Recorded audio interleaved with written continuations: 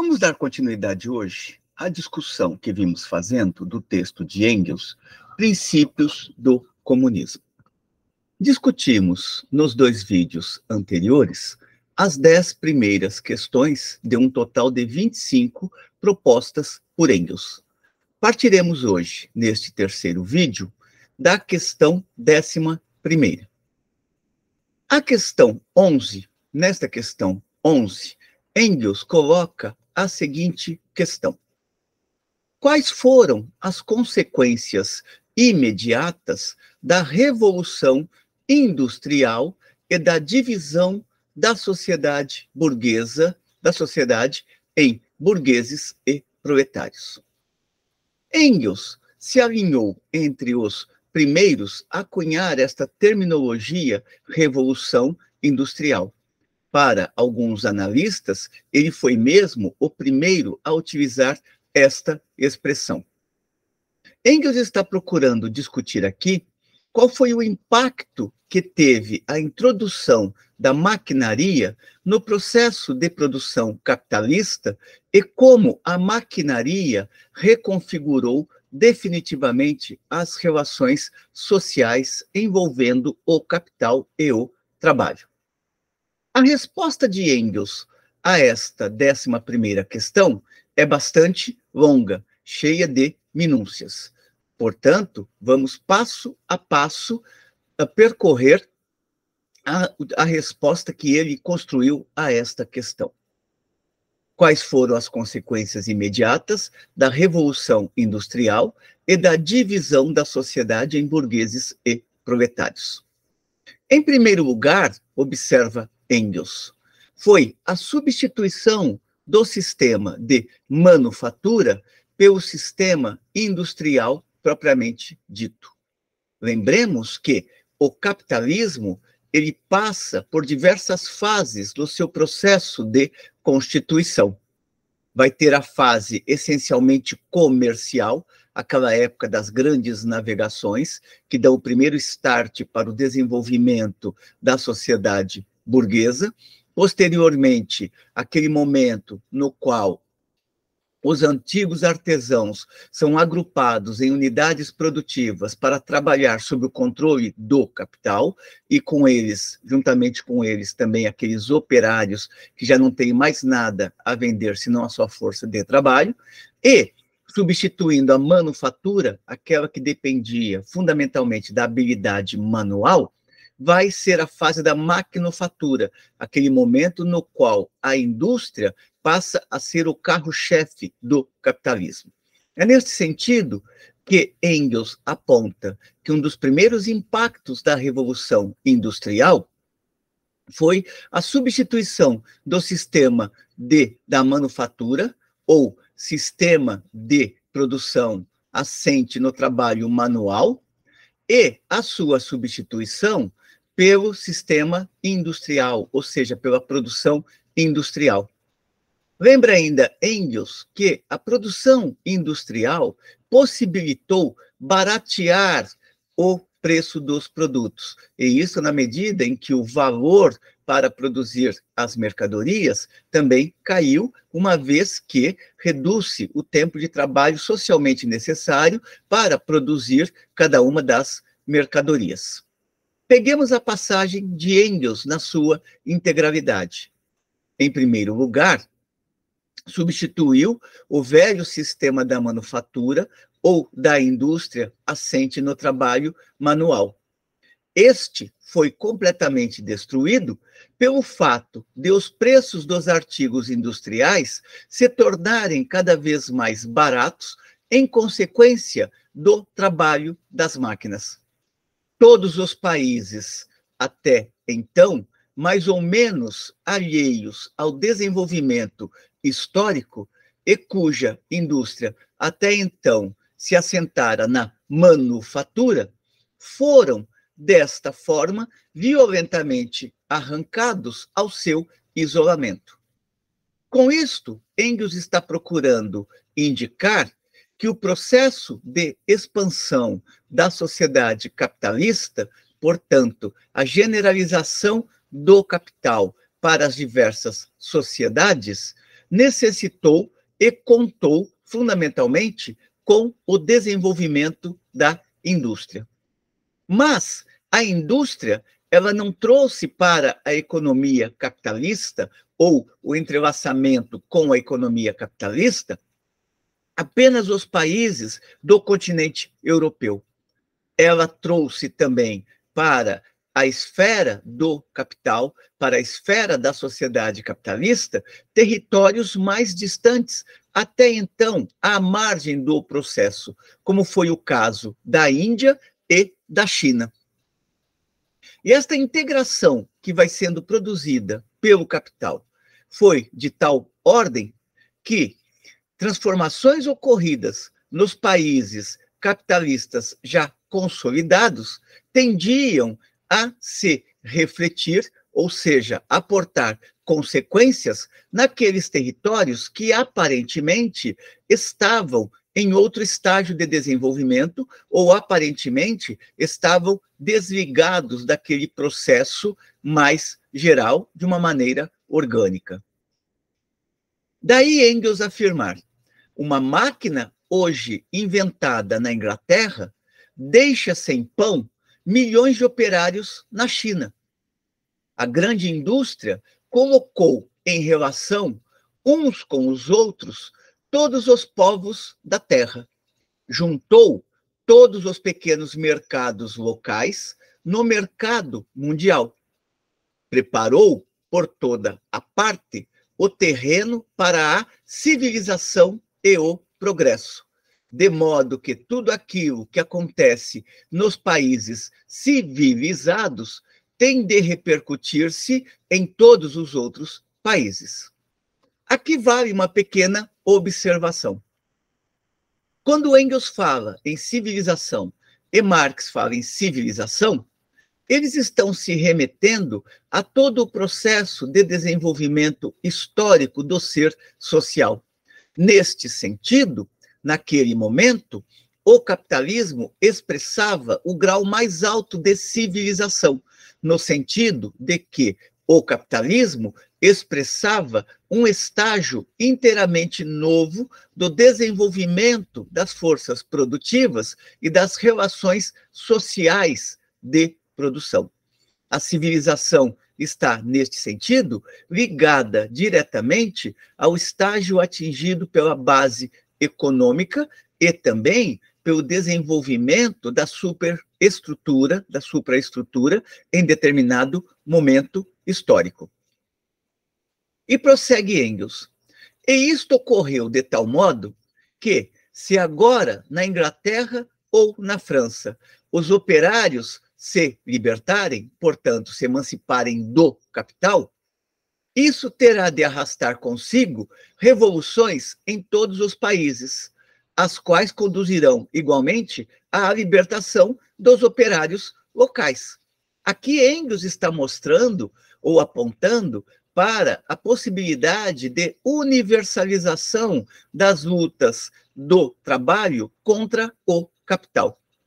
Observemos, por exemplo, que, embora a guerra nos Estados Unidos do Sul contra o Norte, ou do Norte contra o Sul, não fosse uma guerra anticapitalista, ela, no entanto, era uma guerra de caráter progressista para a época, uma vez que iria libertar os escravos e transformá-los em assalariados.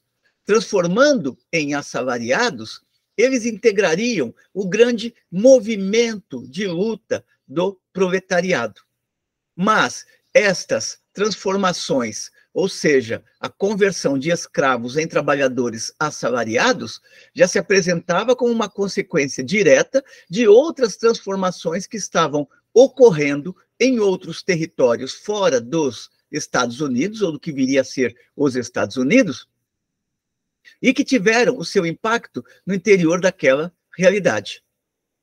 Daí que ele diz que transformações que, pode, que acontecerem na Inglaterra ou França tenderão a se reproduzir ou a ter seus impactos em outros territórios, sobretudo no que se refere ao fim das relações feudais, ao fim das relações escravistas ainda existentes em alguns países naquele momento e a transformação tanto de servos quanto de escravos em operários assalariados, trabalhadores assalariados, e, portanto, em trabalhadores que ingressariam na luta contra o capital, ou tenderiam a ingressar na luta contra o capital, uma vez que as contradições que estariam postas na Inglaterra e na França, fundamentalmente, também estariam presentes nesses outros territórios.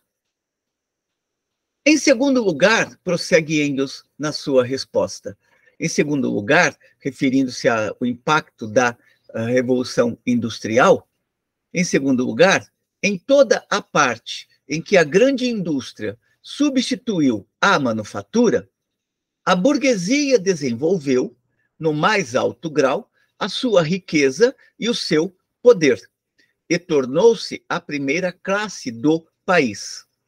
Tomou nas suas mãos o poder político, portanto, poder de Estado, e desalojou as classes até então dominantes, a aristocracia, os burgueses das corporações e a monarquia absoluta.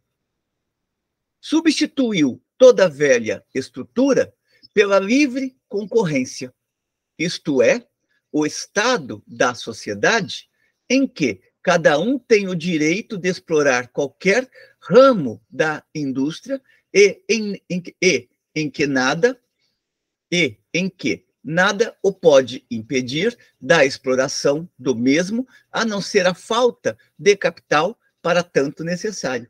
Engels está apontando aqui uma ideia que depois será retomada no Manifesto Comunista, ou seja, o modo de produção capitalista retira o mundo do atraso. E o mundo do atraso existente naquele momento eram as relações mais arcaicas, as relações feudais.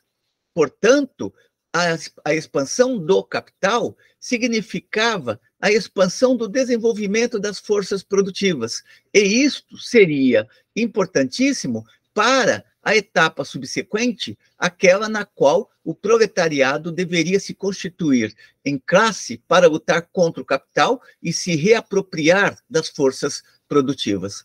A livre concorrência colocará cada capitalista concorrendo com outro. Como o capital só pode viver em expansão, significa que a livre concorrência também vai favorecer a expansão do capital, a emergência de novas mercadorias, novos produtos, novas, novas relações de produção, novos instrumentos de produção, novas forças produtivas, ou seja, a sociedade capitalista ela estava revolucionando naquele momento todas as bases sociais anteriores. Prossegue Engels observando que os membros da sociedade são apenas desiguais na medida em que os seus capitais são desiguais.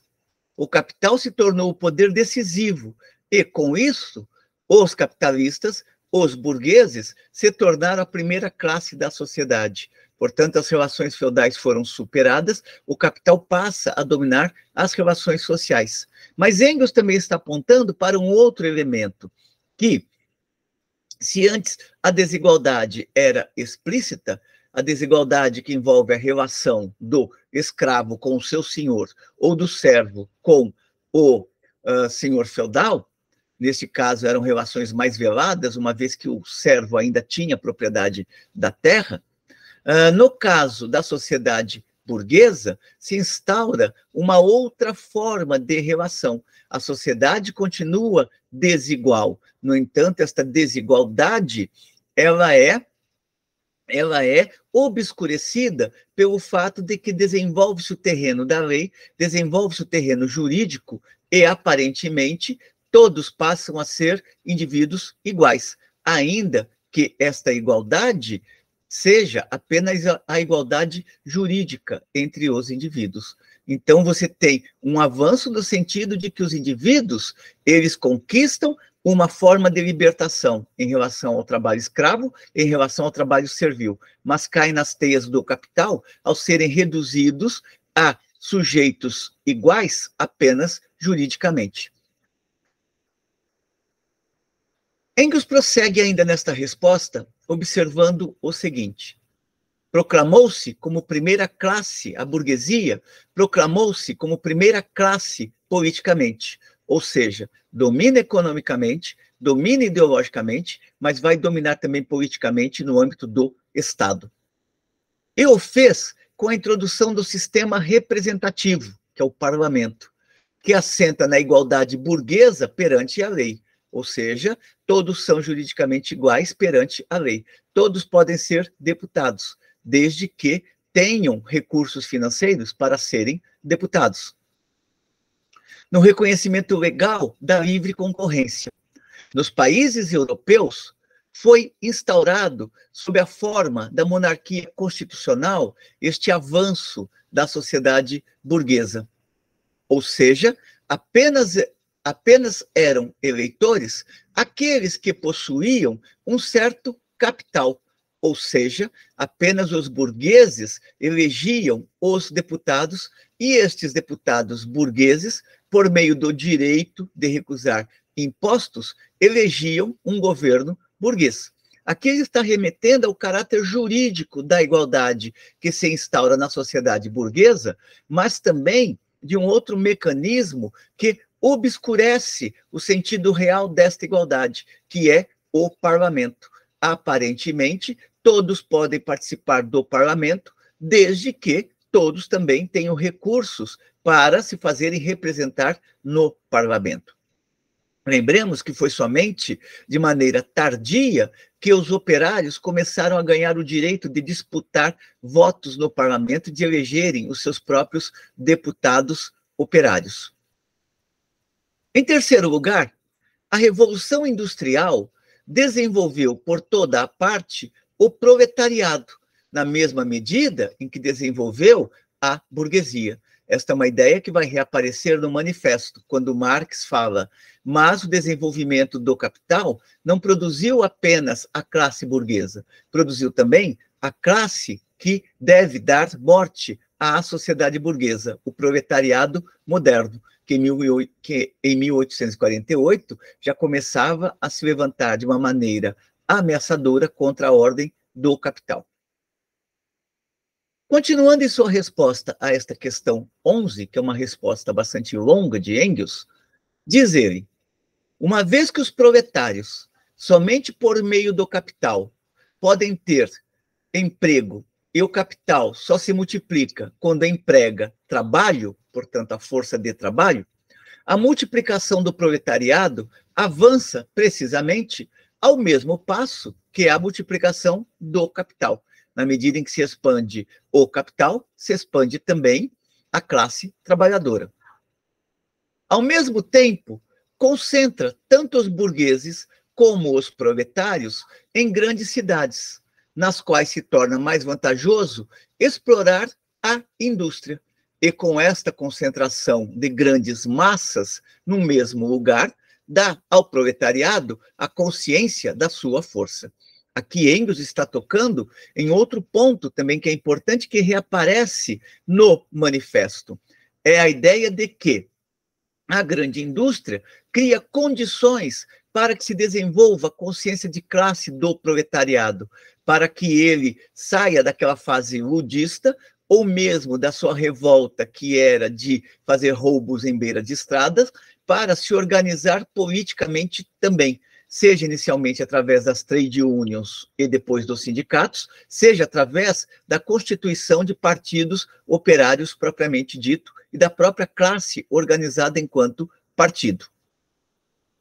Além disso, continua Engels caminhando para a, o final da sua resposta a esta décima primeira questão.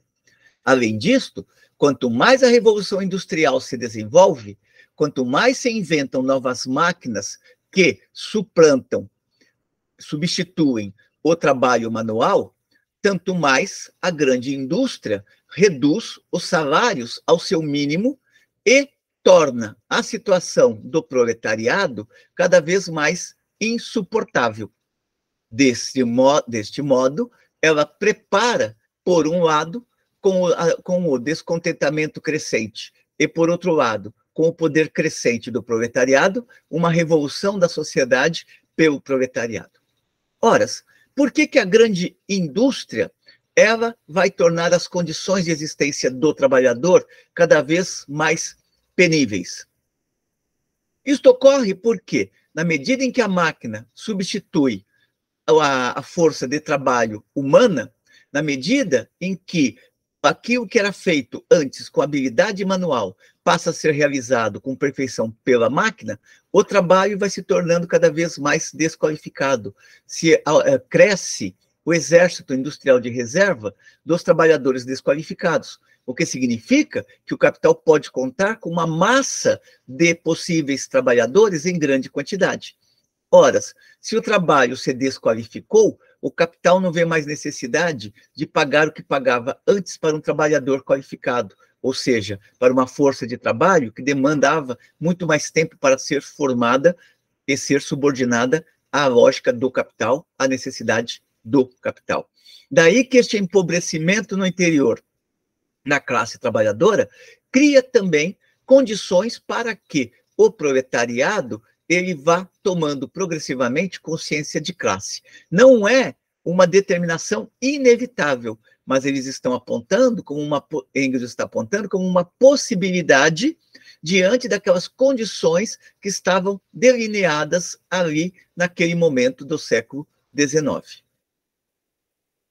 Feitas estas considerações, Engels avança para a 12 pergunta. Que outras consequências teve a Revolução Industrial? Responde ele: a grande indústria criou com as máquinas os meios para multiplicar até ao infinito a produção industrial num tempo curto e com poucos custos a livre concorrência, necessariamente decorrente desta grande indústria, muito depressa assumiu um caráter extremamente intenso. Um grande número de capitalistas lançou-se na indústria e, a breve trecho, produzia-se mais do que podia ser consumido. A consequência, a consequência disto foi que as mercadorias fabricadas não podiam ser vendidas e sobreveio uma chamada crise comercial. Aqui Engels resgata outra ideia que estará presente no Manifesto Comunista, quando Marx coloca que a sociedade capitalista se assemelha ao aprendiz de feiticeiro que já não consegue mais controlar as forças produtivas que desencadeou, Daí que sobrevém, de tempos em tempos, no interior da sociedade burguesa, crises cada vez mais profundas que ameaçam a própria existência desta sociedade. Engels aqui está apontando para a tendência do capital em produzir mais mercadorias do que aquelas que são possíveis de serem consumidas. Daí que o capital, que vive de expandir-se continuamente, passa a vivenciar também certas travas para esta própria expansão. O desdobramento deste processo será a crise, ou serão as crises periódicas que atravessam a história do capitalismo. Prossegue ele. As fábricas, diante da crise, as fábricas tiveram de ficar paradas. Os fabricantes caíram na bancarrota e os operários ficaram sem pão depois de algum tempo, foram se vendendo os produtos em excesso. As fábricas voltaram a trabalhar, o salário subiu e pouco a pouco os negócios passaram a ir melhor de novo. E, novamente, voltaram a produzir-se mercadorias em excesso. E sobreveio uma nova crise que seguiu-se precisamente o mesmo curso que a anterior. Assim, desde o começo deste século, ou seja, desde o começo do século XIX, a situação da indústria tem oscilado continuamente entre épocas de prosperidade e épocas de crise. E quase regularmente, de cinco em cinco anos, ou de sete em sete anos, sobreveio uma destas crises, de todas as vezes conjugada com a maior miséria dos operários, com uma agitação revolucionária geral e com o maior perigo para toda a ordem vigente. Aqui Engels está apontando para um elemento fundamental. É impossível a existência da ordem do capital sem crises periódicas. Esta ideia de que este ou aquele governante debelará uma crise ou fará um governo onde a crise não existirá, não depende, não depende do governante, mas depende da própria dinâmica da economia mundial. E é isto que Engels está apontando quando ele coloca que, de tempos em tempos, sobrevêm crises periódicas. Num primeiro momento, ele fala de cinco em cinco anos, depois de sete em sete, e até de dez em dez. O que não muda nesta temporalidade é o fato de que as crises são inevitáveis na ordem do capital. Engels avança para a décima terceira questão na qual ele pergunta: o que é que resulta destas crises comerciais que se repetem regularmente e nas quais quem paga o maior preço é o proletariado, seja porque perde as suas condições de existência, ou seja porque vê os seus salários rebaixados? A resposta de Engels é a seguinte: a grande indústria, na sua primeira época, dá origem à livre concorrência. Agora, abandona a livre concorrência. Significa que Engels já começa a visualizar, ou então, fazendo análise de tendência, ele está apontando para que a tendência do capital é sempre de concentrar-se e centralizar-se mais e mais. A grande indústria, na base atual, somente se pode manter por meio de uma perturbação geral repetida de sete em sete anos, a qual ameaça, de cada vez, toda a civilização, e não só faz cair os proletários na miséria, como também arruína um grande número de burgueses. Ou a grande indústria tem de ser completamente abandonada. Portanto, a alternativa está em ou se continua mantendo a sociedade burguesa, a grande indústria, sob controle do capital, e se vivencia de tempos em tempos todas as consequências que o desenvolvimento capitalista aporta e que resulta nas crises periódicas, e das quais a expressão são as crises periódicas, ou a grande indústria, sob controle do capital, tem de ser completamente abandonada. Observemos que Engels não está falando em destruição da indústria. O que ele está colocando é a necessidade das forças produtivas serem reapropriadas pela sociedade, de tal modo a realizar a produção sem que haja esta superprodução desnecessária de produtos, no caso da sociedade burguesa, uma superprodução de mercadorias. Portanto, ele está colocando aqui a necessidade de se construir mecanismos de autorregulação na, da sociedade, da produção. Só que esta autorregulação não é possível dentro da sociedade capitalista, uma vez que cada capitalista está interessado no seu próprio negócio. Cada capitalista pensa individualmente. Daí que todos se lançam a produzir as mercadorias que momentaneamente se apresenta a eles como mais vantajosas. E depois nos encontramos com a situação onde há excesso daquelas mercadorias, por exemplo, no mercado. Daí que a grande indústria tem de ser completamente abandonada nos seus moldes capitalistas. É uma impossibilidade a organização totalmente nova da sociedade sem superar a sociedade burguesa, uma vez que já não são os fabricantes individuais em concorrência entre si, mas toda a sociedade, de acordo com um plano estabelecido e segundo as necessidades de todos, quem dirige a produção industrial dentro de uma outra lógica de sociedade. Portanto, a produção não fica ao encargo deste ou daquele indivíduo, ela é definida socialmente, ela é determinada socialmente. Engels aponta ainda nesta questão um segundo elemento. Em segundo lugar, a grande indústria e a expansão da produção tornam possível um estado da sociedade em que é produzido tanto de tudo o que é necessário à vida que cada membro da sociedade ficará, por esse fato, em condições de desenvolver e de pôr em prática todas as suas forças e aptidões em completa liberdade.